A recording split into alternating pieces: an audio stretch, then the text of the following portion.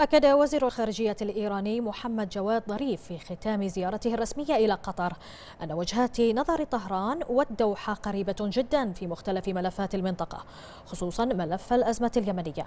هذا التصريح يحمل في طياته الكثير من التأكيدات على ما كان مؤكدا طوال الفترة الماضية من سعي قطري إيراني لتقويض جهود التحالف الشرعي بقيادة المملكة العربية السعودية الشقيقة لاستقرار اليمن ووحدته وصد التدخلات الخارجية لزعزعة أمنه بالإضافة إلى التنسيق المشترك بين إيران وقطر لتحقيق الأهداف المشتركة وزعزعة أمن الخليج العربي. طريق قطر إلى إيران. طريق لم تشأ الدوحة إلا أن تسلكه رغم وعورته التي ألقت بها إلى أبعد نقطة التقاء سياسية مع شقيقاتها. وعلى ذلك كان الإذعان الذي لم تبرح منه السياسة القطرية الخارجية. قد بلغ بها مبلغ المشاركة في الخيانة والطعن بدول مجلس التعاون لدول الخليج العربية. ولكن بستار من الأخوة والمحاباة والكذب. فها هي علاقة الدوحة وطهران. تبلغ ذروة لم تبلغها من قبل سرا أو علنا. لخصتها كلمات معدودات حول الأوضاع في اليمن الشقيق.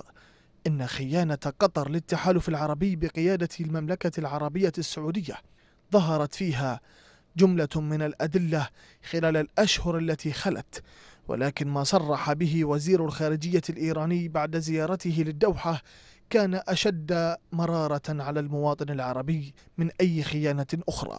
فقد أكد وهو في قلب الدوحة أن وجهات النظر بين قطر وإيران قريبة جدا بشأن الأزمة اليمنية وأنهم سيواصلون الحوارات والتعاون فيما بينهم. وهو يعني بذلك ما حاولت الدوحة إنكاره وهو دعم ميليشيات الحوثي الانقلابية وإخضاع صنعاء إلى حكم إيراني بمشاركة قطر.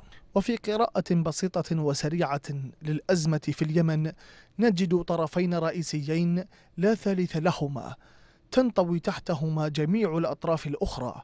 طرف الشرعية ويقف معه التحالف العربي والجيش الوطني والمقاومة الشعبية ومن يريد استقرار اليمن ووحدته.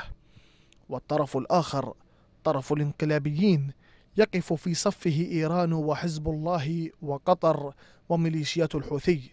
وما تصريح إيران بأن موقف قطر قريب جدا من الموقف الإيراني إلا تأكيدا للمؤكد.